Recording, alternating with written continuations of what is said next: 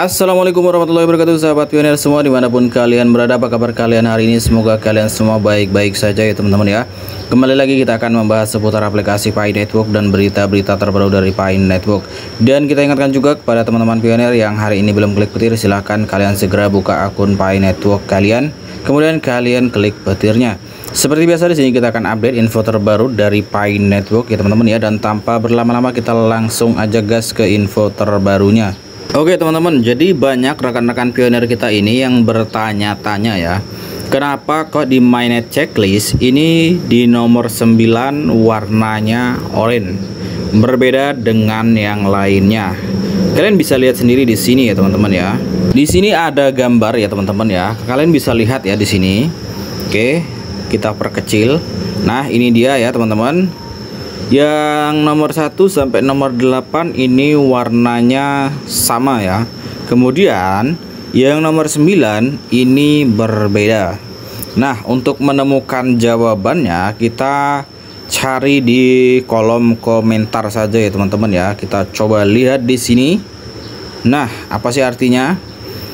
Item keenam dari daftar mainnet telah diubah semua pionir dapat mengoperasikan item ke-6 untuk memigrasikan koin Pi ke mainnet. Oke, nanti kita cek item ke-6 ya teman-teman ya.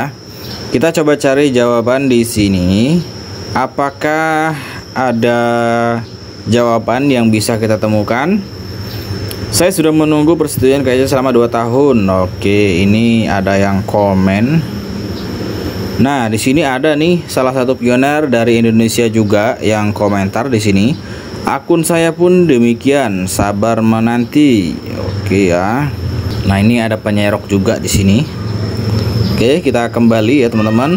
Nah, di sini ada juga nih banyak juga yang berkomentar apa warna checklist mainnet Anda langkah 9 Menurut Anda, apa arti warna oranye pada langkah 9? Bagikan pemikir Anda dengan kami di komentar. Nah, kita cek ya. Apa sih kira-kira? Nah, ada yang komen eh, komen begini ya, mereka tidak memiliki cukup pekerjaan untuk mengubah warna. Hanya mengubah warna saja tidak perlu. Yang kita butuhkan adalah migrasi. Oke, ini komennya komen agak kecewa ya. Oke, kita lihat lagi di sini. Ada juga nih ada juga yang bertanya di sini, tahukah Anda apa gunanya mengubah warna? Nah, ini ini yang masih jadi bahan pertanyaan ya, teman-teman ya. Kenapa warnanya ini bisa berubah? Dan kenapa tidak ada konfirmasi dari core team? Atau minimal ada info dari Twitter lah ya. Ini kan tidak ada ya, teman-teman ya. Kita lihat di sini. Nah, di sini juga ada komentar seperti ini. Verifikasi keaktifan berulang. Apa yang sedang terjadi? Persetujuan tentatif adalah penipuan. Meskipun telah dilakukan beberapa kali pemeriksaan keaktifan, statusnya tidak berubah. Ini sebuah pelecehan. Oke. Kemudian ada juga komentar di sini. Milik saya berubah menjadi ini beberapa hari yang lalu setelah mendapat persetujuan tentatif selama lebih dari setahun. Harus melakukan verifikasi wajah langsung tiga kali Semoga koin P saya segera dimigrasikan ke jaringan utama dikatakan 14 hari tetapi menurut yang lain akan memakan waktu lebih lama karena antrian panjang. Oke. Nah, di sini ada kesimpulan ya, teman-teman ya. Ini ada salah satu pioner. Jadi punya dia ini beberapa hari yang lalu warnanya memang oranye ya, teman-teman ya. Dan beliau ini eh, KYC-nya KYC tentatif ya. Lebih dari setahun kemudian kemarin ada notifikasi diminta untuk KYC lagi. Kayaknya kita pernah share juga ya teman-teman ya. Jadi waktu itu kita diminta untuk verifikasi wajah. Nah mungkin yang sudah verifikasi wajah warnanya akan berubah uh, ke warna apa tadi ya? Yang jelas bukan oranye tadi. Kita teruskan aja ya teman-teman ya.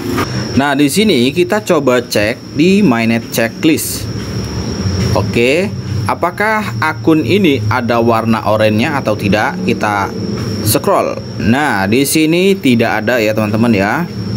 Di sini tidak ada warna oranye dan item nomor 6 katanya berubah ya. Kita coba klik di sini. Sebentar ya. Kita uh, cek dulu di sini. Selamat Anda memenuhi syarat untuk migrasi Mainnet. Konfirmasikan bahwa Anda siap dan tanda tangani pengakuan untuk menerima saldo Mainnet. Setelah mengonfirmasi, Anda akan diantrikan untuk migrasi otomatis di masa mendatang. Oke, jadi buat teman-teman yang sudah warnanya dari item 1 sampai 8 sudah seperti ini, kalian masih harus antri ya teman-teman ya untuk dimigrasikan koinnya. Oke, kita coba klik yang nomor 6. Nah, ternyata tampilannya seperti ini ya teman-teman ya. Ini syarat untuk kalian menerima token Pi kalian di Mainnet. Nah, di sini kalian harus mengonfirmasikan alamat dompet ya teman-teman ya atau alamat wallet yang digunakan untuk menandatangani. Oke, jadi di sini kalian harus menempelkan wallet kalian kemudian nanti kalian tanda tangani ya teman-teman ya Oke kita kembali nah ini ya teman-teman jadi buat teman-teman yang di sini di item nomor 9 kok warnanya warna oranye kalian jangan panik ya teman-teman ya sebetulnya itu bukan suatu masalah mungkin ada beberapa syarat yang belum kalian penuhi Mungkin bisa jadi kalian belum verifikasi wajah ya, bisa jadi seperti itu. Nah, di sini bermigrasi ke Mainnet. Nah, di sini ada keterangan lagi. Anda telah ditambahkan ke antrian migrasi otomatis. Oke, jadi kita tinggal menunggu aja ya teman-teman ya. Karena ini banyak sekali antriannya ya teman-teman ya. Berjuta-juta pioner yang menunggu migrasi koin ke walletnya. Oke sementara ini aja dulu ya teman-teman informasinya. Sekian saja. Assalamualaikum warahmatullahi wabarakatuh